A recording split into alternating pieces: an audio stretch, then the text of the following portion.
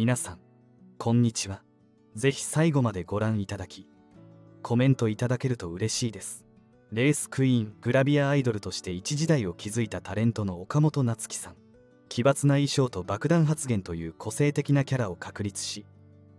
5時に夢中というローカル番組で再ブレイクしたことは多くの方の印象に残っているのではないでしょうか。ただ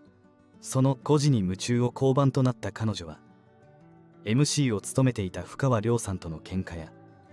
番組で共演していた北斗晶さんへの裏切りなどが大きな話題となっていました。深川亮さんとの喧嘩の内容や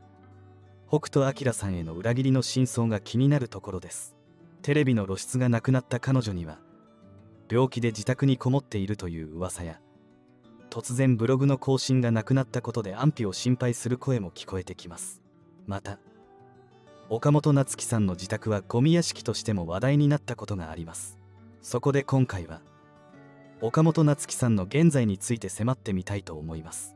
2016年3月29日の放送をもって5時に夢中を降板した後テレビから姿を消すこととなった岡本夏樹さん。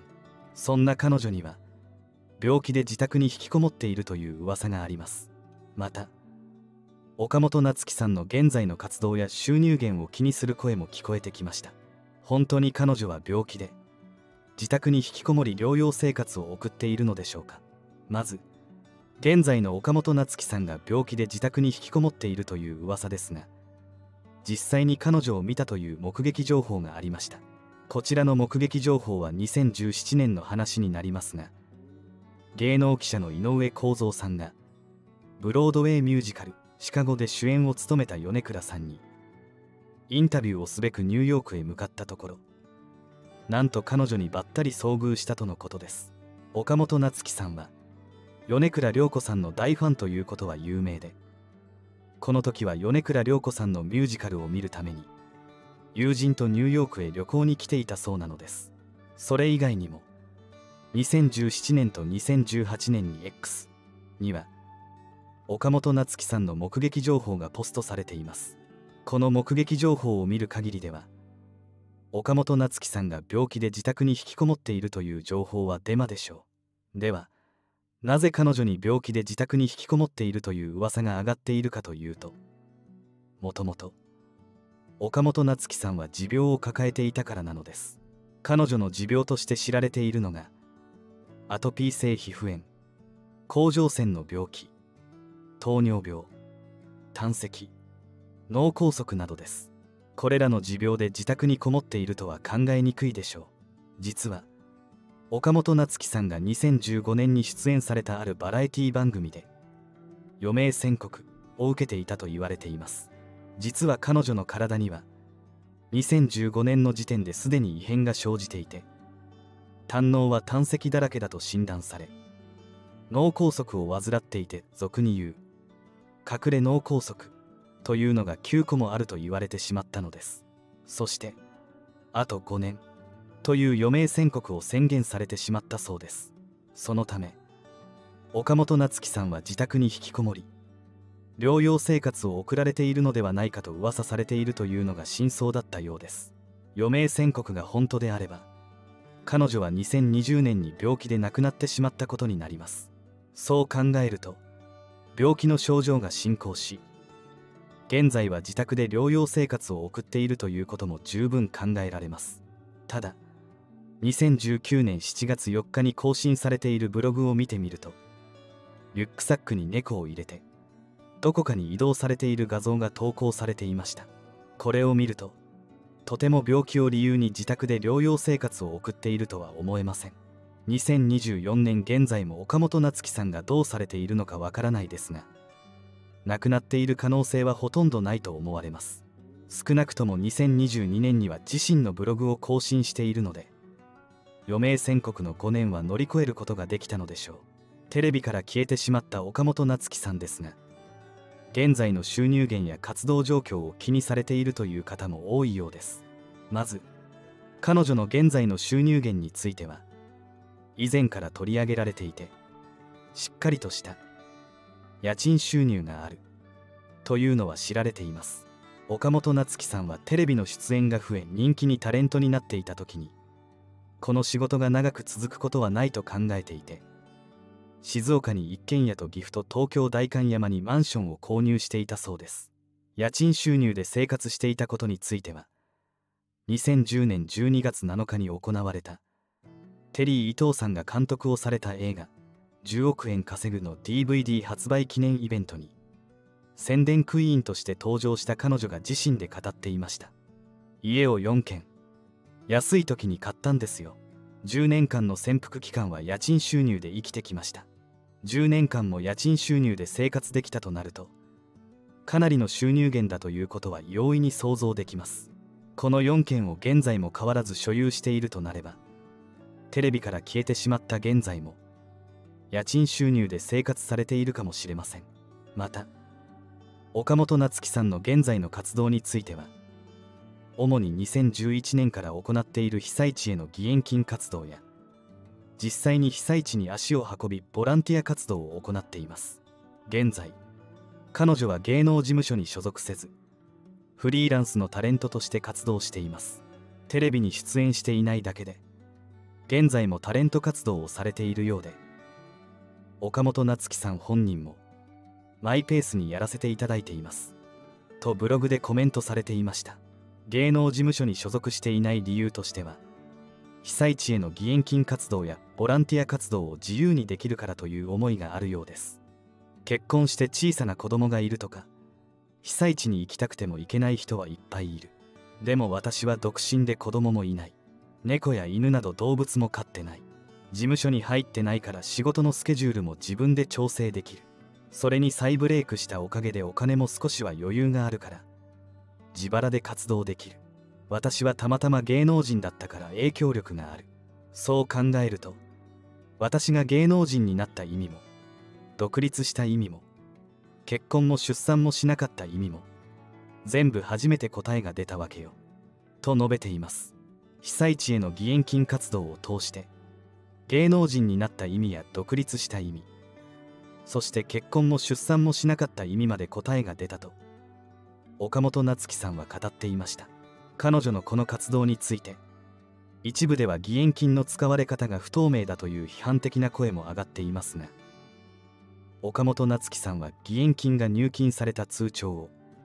ブログに公開するようにしています。2019年8月5日には熊本被災地支援の義援金について画像で通帳を公開し報告されています。これを見る限りでは現在も被災地への義援金活動は続けられているということです。猫好きの岡本夏樹さんは2010年2月22日の猫の日にアメーバブログで自身のブログを開設しています。彼女のブログは独特な表現や NG なしのはっきりした言動が人気を呼びアメーバブログのランキングでは女性アイドル部門で1位に輝いたこともあるほど注目度の高いブログでした。ただそんな岡本夏樹さんのアメーバブログが2016年6月21日の更新を最後に急に更新なしとなったのです。この急なブログの更新なしについて彼女自身が退学処分という表現を用いてブログで報告されました。岡本夏樹さんの言う退学処分とはアメーバブログにアクセスができなくなりブログが更新できなくなったという意味です。なぜ人気ブログだった彼女のアメーバブログが急に更新できなくなったのでしょうか。実は岡本夏樹さんは6月に出演した番組でアメーバブログの収入がどれくらいあるのか質問された際に1ヶ月300万円ぐらい。と公表したのです。この発言が原因でアメーバブログの運営側からブロックをされてしまいブログが更新できなくなったと業界関係者の方が説明されていました。アメブロからタレント側にいくら報酬が支払われているかは言ってはいけないそうです。ましてや全国ネットは言語道断だということです。岡本夏樹さんのアメブロ更新が滞った時期などを考えると放送後アメブロ側から抗議が来てトラブルになった可能性が高そうです。もともとアメーバブログの運営方針が商用目的のブログではないためあからさまな商用目的のブログに関してはアメーバブログの運営側の判断でブロックされてしまいログインができない状態となります。そのためブログの更新もできなくなってしまうのです。岡本夏樹さんがこのことを知っていたのかは定かではありませんが出演番組でブログ収入の質問を受けてしまった以上 NG なしの彼女にとっては答えないという選択肢はなかったのでしょう。ただこの一言で失ったものはとてつもなく大きかったのではないでしょうか。現在はオフィシャルサイト言わずに死ねるかというブログを開設され相変わらず岡本夏樹節を披露されています。そんな彼女の自宅マンションですが実は過去にゴミ屋敷として自宅マンションの一部が公開されたこともありました。2011年には結婚について質問された際に岡本夏樹さんはこう語っています。45年間生きてきて寂しいと思った日は一日もないの。私片付けられない女なんだけどゴミ屋敷に一人でいるのが最も好きっていうくらいだから結婚ゴミ屋敷。だったら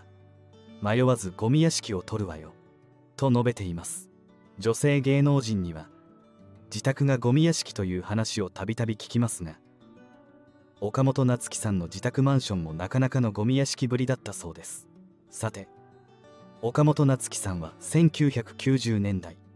2010年頃にバラエティ番組などで活躍していました。そんな岡本夏樹さんが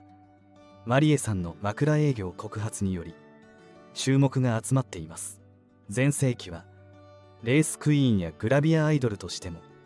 活躍していた岡本夏樹さん。枕営業について暴露していた過去があります。芸能界の闇に触れていたエピソードをまとめました。一つ目は2011年の記者会見です。ドラゴンネストのハロリ。声優の記者会見での出来事でした。声優に初挑戦したモーニング娘。道重さ由美さんが登場します。同席していた岡本夏樹さんが唐突に道重さ由美さんにアドバイスをしました。道重がこの後10年芸能界で生き残るためには枕営業しかありません。枕を売ることも枕営業ですからね。道重はまだ赤ちゃんだから大人の事情をいろいろ教えないとと述べました。2つ目は2014年5時に夢中。での発言です。生放送の情報番組5時に夢中。で2011年から約4年半もの間火曜レギュラーを務めていました。2014年5月20日に過去に枕営業を含め年収2億を稼いだと告白しています。枕営業した人数は2000人に及ぶとの情報もありました。自分の22歳29歳を思い出すとね。まあそれは時代もありますけど本当にいい時代でね。東京に上京したばっかりで。芸能事務所入って独立して年収2億あった時代なんですよ。この体一つでね。枕営業もしながら2億ですから。また岡本夏樹さんをよく知る民放局ディレクターは取材に苦笑いしてこう言いました。彼女は基本真面目でサービス精神旺盛。ただ悲しいかな。最大の欠点が笑い。のさじ加減が全くわからないことなんです。サンジャポ交番はミノモンタの次男逮捕を受けて往生際が悪い。引退しろ。と発言したことがきっかけですしフジテレビが使わなくなったのも得だねの MC 小倉智明の桂疑惑に言及したことだとされています。業界にいればテレビ局とこの2人の関係の深さがわからないはずはない。そこを一切の忖度なしでズバズバ発言するわけですから。テレビ局が怖くて使えない。と判断するのは当然のことでした。いわば交番は時間の問題だったわけ。と述べています。いかがだったでしょうか。今回は破天荒な元タレントの岡本夏樹さんについて深掘りしてみました。岡本夏樹さんは前述の通りその後5時に夢中。で4年間共演した MC 深川亮さんに対し同意なしにキスされたとして1円の損害賠償を請求しました。2021年4月に岡本夏樹さんが勝訴します。その結果この件で彼女とテレビ局との距離はさらに広がることになってしまったという経緯があり現在に至ります。行き過ぎなければテレビで重宝されるムードメーカーなのでしょう。ただ現在コンプラが叫ばれている昨今。これ以上何か発言すると本当に大ごとになりそうな予感です。今回の動画の感想や扱ってほしい話題があればコメントいただけると嬉しいです。そしてこの動画が良かったら高評価チャンネル登録よろしくお願いいたします。